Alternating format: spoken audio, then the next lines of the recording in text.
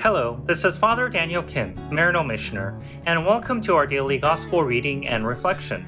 Today's Gospel reading is according to St. Luke, chapter 5, verses 1 to 11. While the crowd was pressing in on Jesus and listening to the Word of God, he was standing by the lake of Gennesaret. He saw two boats there alongside the lake. The fishermen had disembarked and were washing their nets.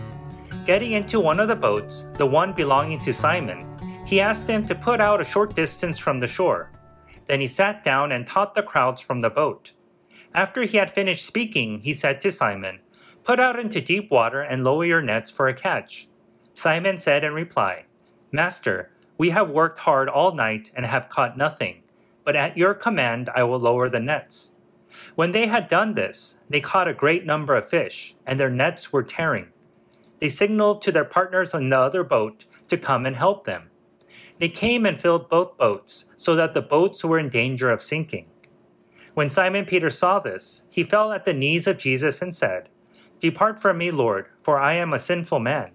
For astonishment at the catch of fish they had made seized him and all those with him.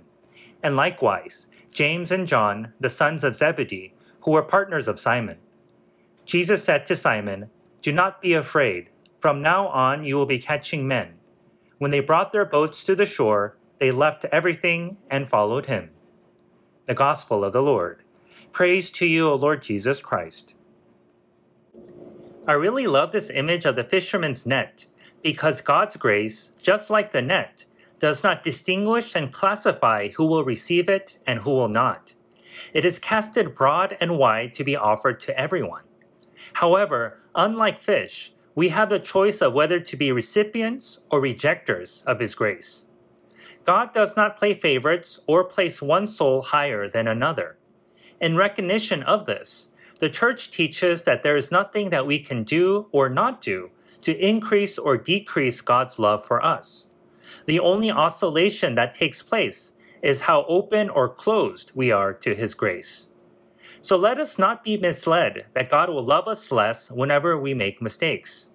Of course, we need to be accountable and learn from them, but God's love for us will continue to be perfect as it has been yesterday, today, and forever. Thank you for listening to today's Gospel reading and reflection. Please be sure to tune in again tomorrow. Have a blessed and grace filled day.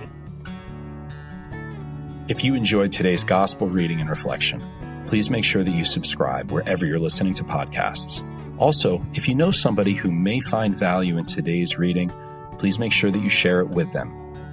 To learn more about how you can support the work that Maryknoll does around the world, please visit us at maryknollsociety.org. And if you're interested in subscribing to our online magazine, please feel free to visit us at maryknollmagazine.org. Thank you once again for spending your time with us today, and God bless.